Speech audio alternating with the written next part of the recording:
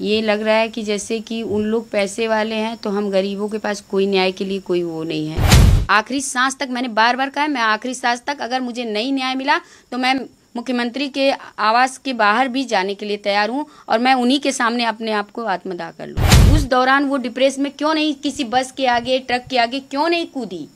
क्यों स्कूल को उसने चुना? क्या चश्मा हवा में उड़ गया या उससे बच्ची मेरी साथ लेके चली गई? कहाँ गया चश्मा? न उसकी कान की बाली का पता है नाक नाक की कील पता सीमा कोई हैं जो पाकिस्तान से आ गई हैं, उनके लिए मीडिया भी खाली है, बड़ी मीडिया भी खाली है और नेता लोग भी खाली हैं। बच्ची गिरती है, उसका सर नहीं फूटता है, उसके चेहरे पे कहीं चोट नहीं आती है और वो तीन मंजिले से कूद गई। समाज ऐसा है कि घूम फिर सिर्फ़ बच्चियों को ही दोष देना है। अगर वो मर गई, तब भी कपड़े अगर छोटे पड़ रहे हैं, तब भी अगर वो पढ़ाई में अव्वल नहीं है, तब भी मैं प्रशासन से ये चीज़ सवाल कर रही हूँ कि मे, बिना मेरे परमिशन की जाँच कैसे हुई? उस मोबाइल का उसमें क्या मुद्दा था? सिर्फ़ मिलने का मुद्दा था तो आपने उसमें कॉल डिटेल क्यों निकलवाई? नमस्कार आप देख रहे हैं देशवा न्यूज़ और मैं हूँ आपके साथ हर्षिता प्रताप सिंह। एक बच्ची ने अपनी जान गंवा दी और उसके आरोपी 10 दिन के अंदर रिहा हो जाते हैं। हम बात कर रहे हैं आजमगढ़ की श्रेया की।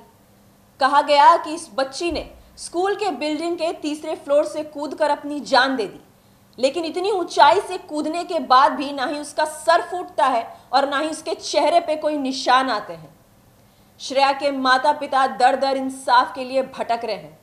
इस पूरे मामले में प्रिंसिपल सोनम मिश्रा और क्लास टीचर अभिषेक राय की गिरफ्तारी तो होती है, लेकिन 10 दिन के अंदर वो छूट जाते हैं। वो कौन लोग हैं जो इन दोनों आरोपियों की मदद कर रहे हैं? जहाँ इतने संगीन आरोप में गिरफ़्तार होने के बाद भी उन्हें इतनी आसानी से बेल मिल जाती है। श्रेया के माता पिता दर दर इंसाफ के लिए भटक रहे हैं, लेकिन उनकी गुहार सुनने वाला कोई नहीं है। श्रेया की माँ का कहना है कि ना प्रशासन और ना ही सरकार कोई भी उन्हें सपोर्ट नहीं कर रहा, कोई भी उनका साथ नहीं दे रहा, क्योंकि श्रेया के माता पिता इन बड़े बड़े माफियाओं से टकराने में सक्षम नहीं है। श्रेया के माता पिता गरीब तबके से आते हैं इसीलिए उनकी बात सुनने वाला, उन्हें इंसाफ दिलाने वाला कोई नहीं है। उनकी बच्ची की मौत को इतने दिन हो गए, लेकिन अभी तक कोई ठोस कार्रवाई नहीं हुई है। श्रेया की माँ ने तो यहाँ तक ऐलान कर दिया है कि अगर सीएम योगी आदित्यनाथ उनका साथ नहीं देते, उनकी बच्ची को इंसाफ दिलाने में उनकी मदद नहीं करते तो वो उनके आवास के बाहर जाकर आत्मदाह कर लेंगी। आइए आपको सुनाते हैं और क्या कुछ कह रही है श्रेया की माँ। ये लग रहा है कि जैसे कि उन लोग पैसे वाले हैं तो हम गरीबों के पास कोई न्याय के लिए कोई वो नहीं है। क्योंकि सारी सच्चाई है। मैं ये पूछती हूँ, मेरी बच्ची की जो सच्चाई है, उसको छिपाया जा रहा है। अभी वो गिरती है, न उसका सर खुलता है, न उसके चेहरे पे चोट आती है, लेकिन बार बार ये कहा जा रहा है कि एक अस्सी मतलब वज़न वेट किए, बच्ची गिरती है, उसका सर नहीं फूटता है, उसके चेहरे पे कहीं चोट नहीं आती है, और वो तीन मंजिले से कूद गई। किस चीज़ पे मैं विश्वास करूँ? अगर ये चीज़ है तो पूरा जिस तरीके से एक क्राइम सीन होता है, उसको फिर से मतलब सच को फिर से दोबारा जो है कि डेमो के थ्रू फिर से उसको वो किया जाए सर्च किया जाए कि क्या बच्ची कोई गिरती है, उसके चेहरे पे चश्मे लगे थे, जो खाली लोगों ने कहानी बता दी कि बच्ची पहले चश्मा फेंक दी, चश्मा फेंक दी, चश्मे के टुकड़े तक नहीं मुझे मिले। चश्मे गया कहाँ चश्मा? क्या चश्मा हवा में उड़ गया या उससे बच्ची मेरी साथ लेके चली गई? कहाँ गया चश्मा?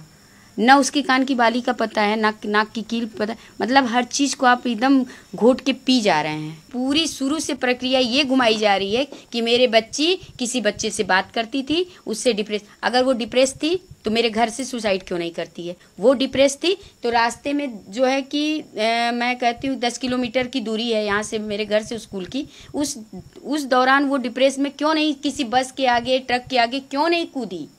क्यों स्कूल को उसने चुना? वो भी लंच के बाद चुना। लंच तक हंस रही थी एकदम खेल रही थी। मुझे इसका जवाब प्रशासन हो चाहे कोई भी मुझे जवाब चाहिए। देखिए सर बच्चियाँ बताई भी लेकिन अब सामने नहीं आएँगी क्योंकि बच्चियों को भी कहीं ना कहीं डर है। मेरी भी बच्ची रहती तो शायद भाई वो भी डरती क्योंकि समाज ऐसा है कि घूम फिर सिर्फ़ बच्चियों को ही दोष देना है। अगर वो मर गई तब भी कपड़े अगर छोटे पड़ रहे हैं तब भी अगर वो पढ़ाई में अव्वल नहीं है तब भी सिर्फ़ बच्ची को ही दोष देना ये ये मान लिया है समाज ने मान लिया कि एक बच्ची आगे नहीं बढ़नी चाहिए। कोई नहीं आया कोई नहीं कोई नहीं आया। यही तो मुझे आश्चर्य है कि अभी एक छोटी सी सीमा कोई हैं जो पाकिस्तान से आ गई हैं उनके लिए मीडिया भी खाली है बड़ी मीडिया भी खाली है और नेता लोग भी खाली हैं कि वो क्या कर रही हैं झंडा फहरा रही हैं घर में पूजा कर रही हैं पाठ कर रही हैं ये क्या है? लेकिन मेरी बच्ची मर गई उसके लिए किसी के पास समय नहीं है। मैं प्रशासन से ये चीज़ सवाल कर रही हूँ कि मे बिना मेरे परमिशन की जाँच कैसे हुई? उस मोबाइल का उसमें क्या मुद्दा था? सिर्फ़ मिलने का मुद्दा था? तो आपने उसमें कॉल डिटेल क्यों निकलवाई? भाई अगर एक अपराधी को छुड़ाने के लिए आपने जो है कि अट्ठारह घंटे और पंद्रह घंटे में आपने सब कुछ कर लिया लेकिन एक माँ जो सच्ची है जिसकी बच्ची को मार दिया गया उसको न्याय देने के लिए आप लोग कह रहे हैं न्याय न्यायालय का प्रक्रिया आप इस्तेमाल करिए, उस पर आप भरोसा करिए। क्यों भरोसा करें? निर्भया की माँ की तरह दस साल इंतज़ार करें? नहीं है मेरे पास इतना सब्र। नहीं इंतज़ार कर सकते हम, क्योंकि हमारे पास और भी एक बच्चा है, वो भी डेरा सहमा है। कहाँ लेके जाए उसको?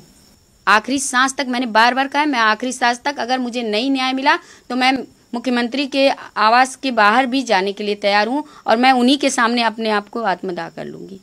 क्योंकि मुझे न्याय चाहिए मेरे जो न्याय प्रक्रिया है वो बहुत धीमी चल रही है। मुझे उस, मुझे पता नहीं क्यों, मुझे डर सा लग रहा है कहीं ऐसा तो नहीं कि सब कुछ उलट पलट हो गया है, फिर मेरे पक्ष में न्याय आएगा भी कि नहीं आएगा, क्या भरोसा? एक माता पिता ने अपनी बच्ची खो दी है, लेकिन उनका साथ देने वाला, उनका, उनको इंसाफ दिलाने वाला कोई नहीं है। श्रेया की माँ ने बड़े बड़े मीडिया चैनलों पर भी आरोप लगाया है कि इन मीडिया चैनल्स के लिए पाकिस्तान से आई सीमा हैदर और हिंदुस्तान से पाकिस्तान गई अंजू ज़्यादा महत्वपूर्ण है, क्योंकि ये खबरें उन्हें टीआरपी दिला रही हैं। लेकिन उनकी बच्ची के लिए आवाज़ बुलंद करने वाला कोई नहीं है। एक बच्ची ने अपनी जान गंवा दी, लेकिन उसे इंसाफ दिलाने वाला कोई नहीं है, क्योंकि शायद बड़े बड़े मीडिया चैनलों को श्रेया की खबर टीआरपी ना दिला पाए। माता पिता ने अपनी बच्ची तो खो ही दी, लेकिन अब उसे जो इंसाफ दिलाने की कोशिश कर रहे हैं, उसमें भी उनका साथ देने वाला कोई नहीं है। अब इस पूरे खबर में सरकार और प्रशासन क्या करती है, कैसे कार्रवाई करती है और आखिर कब तक श्रेया को इंसाफ मिलेगा, ये तो आने वाला वक्त ही बताएगा। तब तक के लिए आप देखते रहिए देशवा न्यूज़। सिर्फ़ खबर दिखाना देशवा न्यूज़ का मकसद नहीं। देशवा न्यूज़ की कोशिश है कि समाज की सूरत बदलनी चाहिए। देशवा न्यूज़ पर वीडियो देखने के लिए लाइक करें, सब्सक्राइब करें। साथ ही बेल आइकन दबाना न भूलें।